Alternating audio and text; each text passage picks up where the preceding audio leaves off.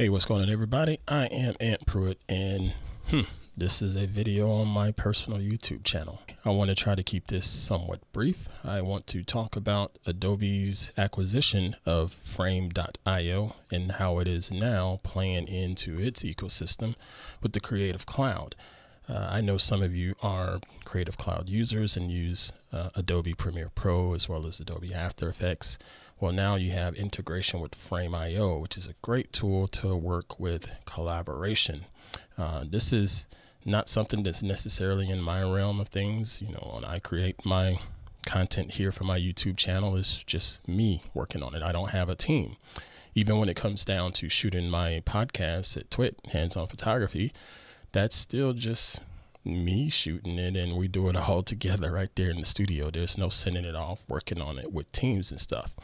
But there's something about this frame IO stuff that I think would be beneficial for my personal business. You know, if I want to work on a project with a client and I could share the preview with them and there's some nice little tools in there and it's just looks like it's going to be a lot easier to do that versus the other way that I've been doing it when okay so here I'm in Premiere Pro and let me just switch this over here on the right because this is a bit of a uh, change in the layout. Normally you had these little tabs at the top for your different workspaces and this is my default view for Premiere. I have my own custom workspace set up and this is just a, a time, timeline and a sequence that I've been working on um, again for part of my show but I figure I could use this as an example to show off what's going on with Frame.io. So let's say you got this sequence squared away, you rendered it out and you ran it through and hey, yeah, I think this will look okay. Let me send this over for review to a client or send it over to a teammate or whatever and let them tweak it, touch it up, what have you. It's pretty easy. You got a couple ways you can do it. So over here in the upper left in the menu bar, you have the Windows menu. So just click that and you'll see uh, review with Frame.io. So you can click that and it'll open up this new interface. All right. And it comes with a couple different demo projects already in there because again, this is all brand new and I just launched a couple days ago at the time of this recording and I've already started a project. So you know what? I can just delete this here. Let's do that. Yep. We'll go ahead and delete that because yes, I tried this out before I did this video, but anyway, this is the interface for it. Um, and you literally just hit upload and tell it the different parameters that you want to go into um, the sharing process, if you will, or review process, if you will. So that's one way to access it. Or, so I'm gonna close this window now. you can go to the different panel and go to the, the workspace panel. Yeah, not workspace panel, the review panel. So you scroll down and there it is, review and it's going to pop up a very similar interface except this time you still have your timeline right here and this isn't a floating window anymore. But again it's all the same stuff and I need to cough. Hold on a second. Okay. Aren't you glad I didn't cough in your ear?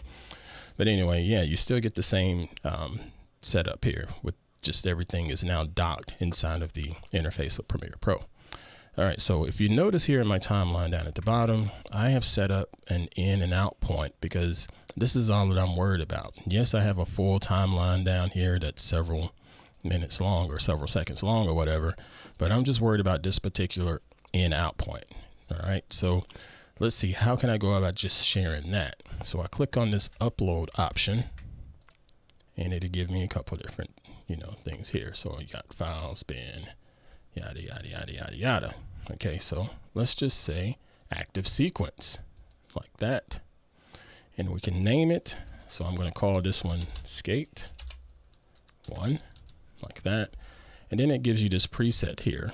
And you got a couple different in here um, for audio only and web view and so forth. Of course, they're going to want to see it in high quality, even though this will be viewed in a web interface. So just go ahead and put it in 1080 like that.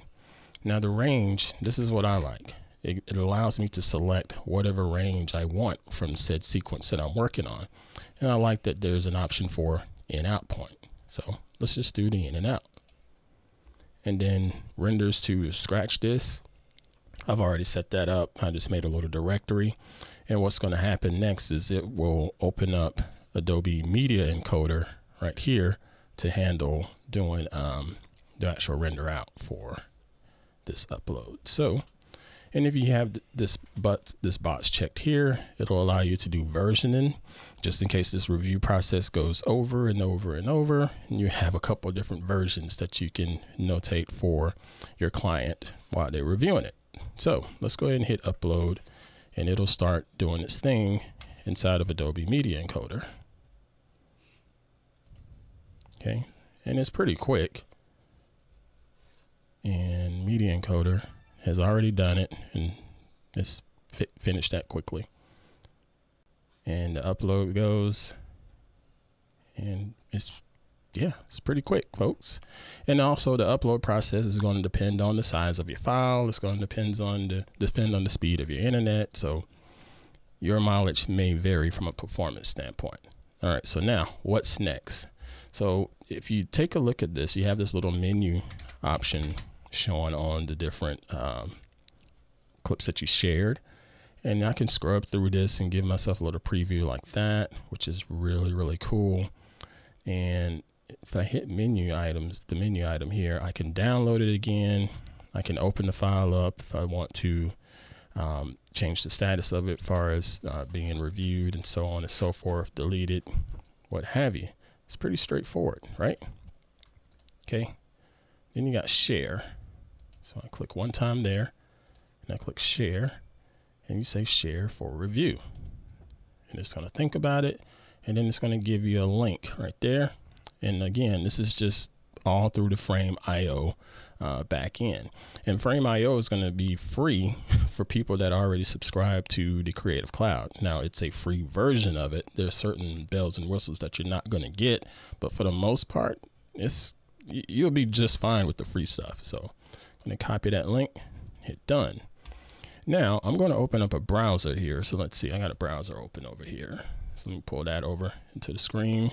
And I'm going to paste that link into the browser. All right, and there it is. And it's, it's just pretty straightforward. So I play it through. It's got the audio, and it's in nice high quality 1080p for the web. Very nice. So what's next? The client is looking through this thing and saying, you know what? Um, I don't know about this. Let's say I wish this was a little bit more tighter on the on the uh, skateboard here. This is a little too wide. So the client can come in here and add notes if they want to. So you look at this interface here on the bottom. I can minimize Premiere for now and we'll maximize this. There we go. And you look at this interface down here on the bottom and you can just type in, hey, make this a tight shot like that. And then even better, you can make little markups on it. So there's this paintbrush here.